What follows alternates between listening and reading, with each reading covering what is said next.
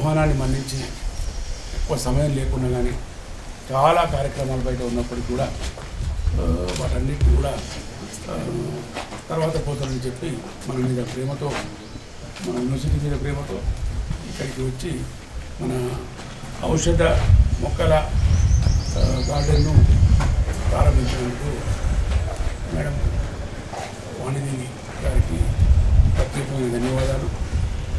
ఎందుకంటే she is most deserving person to inaugurate this medicinal garden because she is also maintaining a huge large garden medicinal plants garden at Tolkatta Moinabad mandal దాదాపు ఒక ముప్పై ఎకరాల విస్తీర్ణంలో చాలా ఔషధ మొక్కలు మనం ఒకసారి ఎప్పుడైనా పోయి మనకు తెలియని ఇక్కడికి తెచ్చుకుంటే కూడా మంచిదే. కాబట్టి ఎస్ వాళ్ళు ఎక్కడ ఎట్లా మెయింటైన్ చేస్తున్నారు వాళ్ళు ఏం చేస్తున్నారు మనం తెలుసుకోవాల్సిన అవసరం ఉన్నది. ఈ మెడిసినల్ ప్లాంట్స్ గ్రోయింగ్లో పెంచడంలో ఆ, వాణిదేవి ప్రత్యేకమైన శ్రద్ధ ఉన్నది.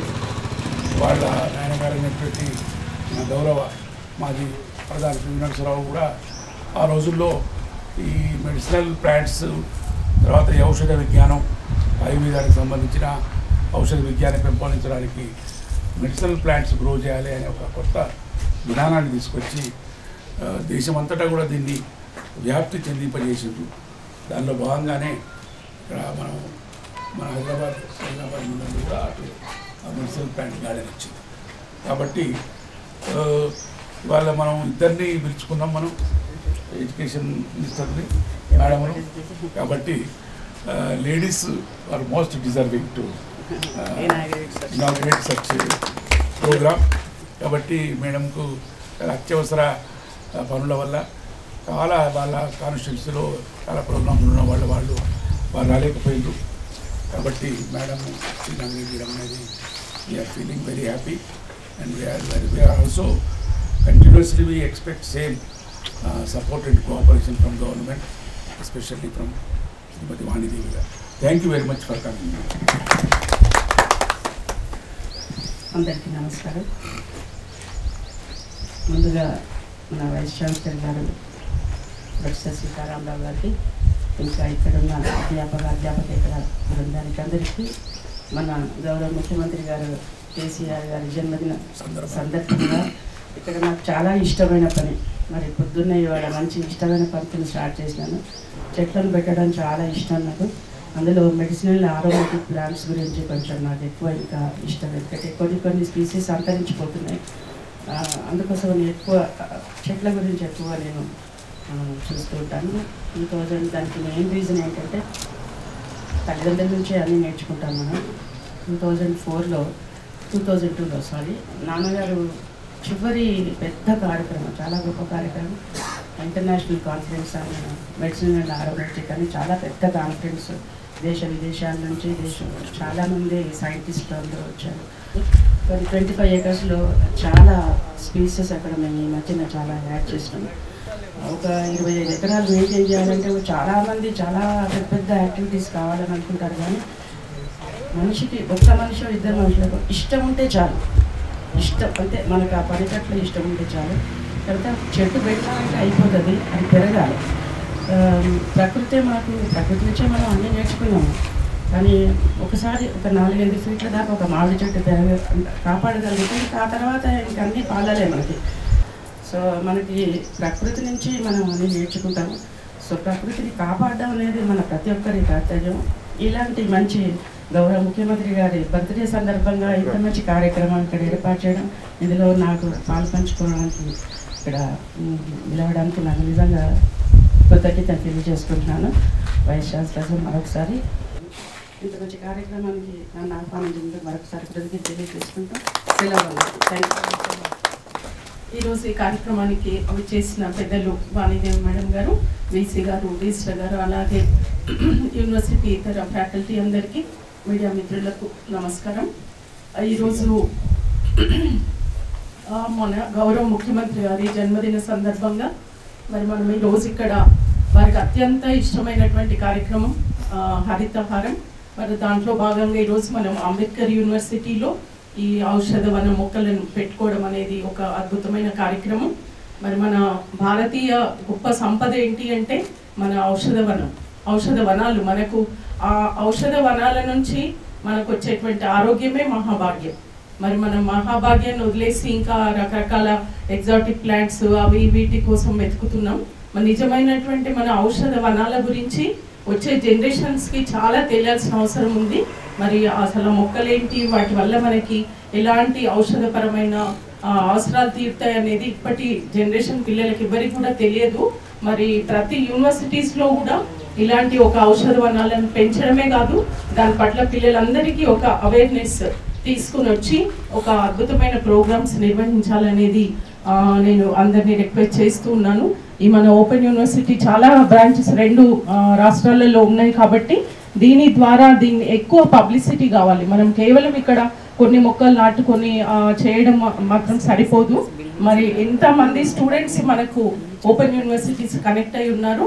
వాళ్ళందరికీ కూడా ఈ ఔషధ మొక్కల యొక్క ప్రాధాన్యత దాని యొక్క ఉపయోగం అంటే చిన్న చిన్న అంటే అవసరాలు అంటే మన ఆరోగ్యపరమైన సమస్యలు మనము ఎలాంటి ఖర్చు లేకుండా గ్రామీణ ప్రాంతాలలో అద్భుతమైనటువంటి వైద్యం మనం చేసుకోవచ్చు. కాకపోతే దానికి కావాల్సినటువంటి అవగాహన మాత్రం మనం ఇవ్వాల్సి ఉంటుంది. మరి దాని దిశగా మా వల్ల మేము చేయగలిగింది ఏదైనా ఉంటే తప్పకుండా మీకు అందరికీ సహకారం అందిస్తాము.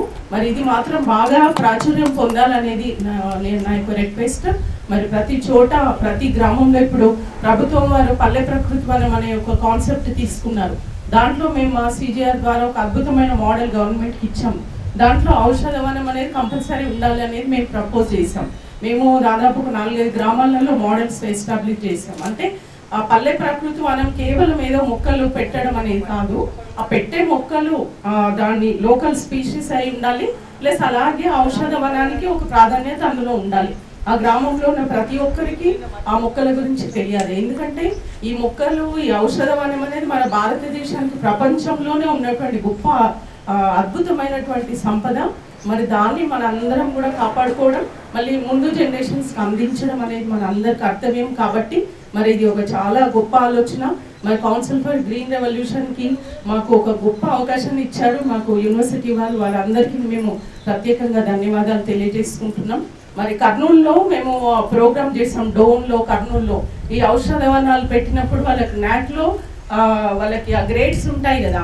అంటే వాళ్ళు ఢిల్లీ నుంచి లెటర్ స్పెషల్గా రాశారనమాట మీ దగ్గర ఈ మెడిసినల్ గార్డెన్ ఉన్నందుకు మేము మీకు ఈ పాయింట్స్ ఎక్కువ ఇస్తున్నామని వాళ్ళు స్పెసిఫిక్గా మెన్షన్ చేస్తే వాళ్ళకి న్యాక్ వాళ్ళకి వచ్చిందనమాట సో అట్లా ఆ మొక్కలే కదా అని మనం అంత ఈజీగా తీసుకోవడానికి లేదు. ఎందుకంటే ఇప్పుడు మొక్కల ప్రాధాన్యత మన ఎన్విరాన్మెంట్ క్లైమేట్ చేంజ్ అందరికీ ఒక ఆలోచన ఉంది కాబట్టి మరి ఆ దిశగా మనం చేస్తున్న ఈ ప్రయత్నం తప్పకుండా భవిష్యత్తులో మన యూనివర్సిటీకి గొప్ప ఒక అంటే గుర్తింపు ఇస్తుందని ఆ గుర్తింపే కాకుండా దీన్ని మనం బాగా ఉపయోగించుకునే విధంగా పిల్లలందరికీ కూడా వాళ్ళ యొక్క కరికులంతో పాటు ఇది మన బాధ్యత ప్రకృతి మన చెట్లు మనం ఏదైతే ఒక ప్రకృతిలో నివసిస్తామో దాని గురించి తెలుసుకోవడం దాన్ని కాపాడుకోవడం దానికి సేవ చేయడం అనేది మన మినిమం బాధ్యత కాబట్టి ఇది విద్యార్థులందరికీ తెలియాల్సిందిగా మీ అందరికి కోరుకుంటున్నాను.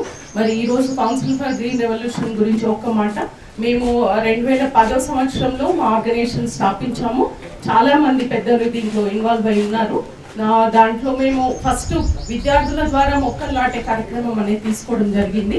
ఎన్విరాన్మెంట్ ఆర్గనైజేషన్ స్టార్ట్ చేసి ఏదో కార్యక్రమంతో ప్రారంభించాలి కాబట్టి మేము విద్యార్థులు గవర్నమెంట్ హై స్కూల్స్లో ఉన్నటువంటి విద్యార్థుల ద్వారా మొక్కలు ఒక్కొక్కరికి ఐదు మొక్కలు రెండు నీడ మొక్కలు మూడు పండ్ల మొక్కలు ఇచ్చేసి నీడ మొక్కలు ఇంటి ముందు నాటాలి పండ్ల మొక్కలు ఇంటి వెనకాల నాటాలి. పిల్లలకి ఏం చెప్పేదంటే నీడ మొక్కలు ఈ భూమాత కోసం పండ్ల మొక్కలు నీ కోసం అని ఐదు మొక్కలు ఎట్లా నాటాలి ఎట్లా దాన్ని సంరక్షించాలని వాళ్ళకి మోటివేషన్ చేసి అట్లా మేము ఒక పదకొండు లక్షల మంది విద్యార్థులను ఈ ప్రోగ్రాంలో భాగస్వామ్యం చేశాము.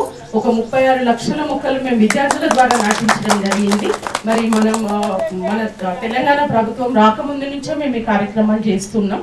అలాగే వన్ ఇయర్ ఫాలో అప్ చేయడం దాంట్లో చిన్న రెండు టెక్నిక్స్ పిల్లలకు మేము చెప్పడం జరిగింది. ఒకటి మీరు నాటిన మొక్కకి సంవత్సరం తర్వాత బర్త్డే సెలబ్రేషన్ చేయాలి మొక్కకి. అది కూడా ఓన్లీ ఫ్రూట్స్ తోటే తయారు చేసిన కేక్ కట్ చేయాలి. మరి నెక్స్ట్ వచ్చేసి రాఖీ పండుగ రోజున మనము అన్నా చెల్లెలకి రక్ష కోరి మనం రక్షాబంధం చేస్తాము. అలాగే మొక్కకి రాఖీ కట్టి వృక్షాబంధం చేయాలి. ఈ రెండు కార్యక్రమాల ద్వారా పిల్లలు చాలా అద్భుతంగా కనెక్ట్ అయిపోయి ఆ నేచర్కి మరి ఆ వృక్షాబంధం రోజు కూడా మేము వాళ్ళకి ఏం చెప్పేదంటే మొక్క దగ్గర నిలబడి మనస్ఫూర్తిగా నువ్వు దాన్ని ప్రే చేసుకుని నేను నీకు రక్ష నువ్వు నాకు రక్ష అనేసి పిల్లలతో ప్రేజ్ చేయిస్తూ వృక్షాబంధన్ సెలబ్రేషన్ ఇది ఢిల్లీ వరకు వెళ్ళింది. మీరు రాఖీ రోజున చాలా మంది నోట వృక్షాబంధన్ వింటూ ఉంటారు. అది మా సీజర్ ద్వారా వచ్చినటువంటి కాన్సెప్ట్ సో ఇది మేము ప్రభుత్వం చేసిన హరితహారంలో కూడా బంగారు తెలంగాణకి బాలల హరితహారం అని చాలా జిల్లాలలో మేము వారితో కలిసి పనిచేయడం జరిగింది. ప్రభుత్వం వారి ద్వారా మాకు రెండు సార్లు అవార్డ్స్ కూడా రావడం జరిగింది. తర్వాత మేము ఇప్పుడు ఎట్ ప్రజెంట్ ఎస్డిజీస్ పైన అలాగే ఒక ఎర్త్ సెంటర్ అనే ఒక ప్లేస్ను కన్స్ట్రక్షన్ చేసి అక్కడ ఎర్త్ లీడర్షిప్ మీద ట్రైనింగ్స్ అనేటువంటి ప్రోగ్రామ్ జరుగుతున్నాయి. ఇదే కాకుండా తూర్పు కర్మల పరిరక్షణకి గ్రేస్ అనేటువంటి ఒక సంస్థను ప్రారంభించి మేము ఒక అద్భుతమైన బుక్ తయారు చేసాము అది ప్రణబ్ ముఖర్జీ గారు రిలీజ్ చేస్తారు జయరాం రమేష్ గారు హైదరాబాద్లో రిలీజ్ చేశారు. పార్లమెంట్లో ఉన్న అందరి సభ్యుల ద్వారా ఈస్టర్న్ ఘాట్స్ పైన ఒక పాలసీ పరమైన మార్పు తేవడానికి మేము ప్రయత్నం చేస్తున్నాం. సో మా ఆర్గనైజేషన్ గురించి మరి నాకు ఈ అవకాశం ఇచ్చిన ఈ యూనివర్సిటీ వారందరికీ మేడంకి అందరికీ ధన్యవాదాలు తెలియజేస్తాను థ్యాంక్ యూ సార్ గౌరవ వాణిదేవ్ మేడం గారికి వైస్ ఛాన్సలర్ గారికి వచ్చిన లీలా గారికి అందరికీ కూడా ఈ హరితహారం అంటే ఔషధ మొక్కల దానిలో తరఫున కృతజ్ఞతలు. తర్వాత చాలా విలువైన సమయాన్ని వెచ్చించి మన దగ్గరికి వచ్చి ఇంత ఉదయాన్నే చాలా మంచి కార్యక్రమంలో పాల్గొన్నందుకు వారందరికీ కూడా చాలా ధన్యవాదాలు చెప్తున్నాను ఔషధ మొక్కలు మేడమే చెప్పారు. విమెన్తో ప్రారంభించడం అంటే ఈ కోవిడ్లో చాలా మంది చూసాము. అంటే ఇంట్లో వంటింటి చిట్కాలతోనే కోవిడ్ నయమైన ఒక పద్ధతి. అది ఔషధ మొక్కలు ఔషధ విలువలున్న సామాగ్రి ఇంట్లోనే తయారు చేసుకోవడము. అవన్నీ కూడా ప్రపంచవ్యాప్తంగా ఈరోజు గుర్తించాయి. అది భారతదేశ ఘనత అని చెప్పొచ్చు. అంబేద్కర్ యూనివర్సిటీ తరఫున ప్రతి సంవత్సరం ఈ- ఈ ఒక్క రోజనే కాదు ప్రతి సంవత్సరం హరితహారం నిర్వహించడం ఇన్ని మొక్కలు పెంచడము ఈ రోజు ఔషధ మొక్కలు అనేది చాలా సంతోషంగా ఉంది. ఈ కార్యక్రమానికి మీరందరూ వచ్చినందుకు కూడా ధన్యవాదాలు తెలుపుకుంటూ ముఖ్యంగా మేడం గారికి. ఆమె ఎప్పుడు బ్లెస్సింగ్స్ మనకు ఉంటాయి మేడం మన యూనివర్సిటీ కార్యక్రమానికి ఎప్పుడు కూడా పిలవగానే ఆప్యాయంగా వస్తారు. అందుకు ప్రత్యేక ధన్యవాదాలు మేడం.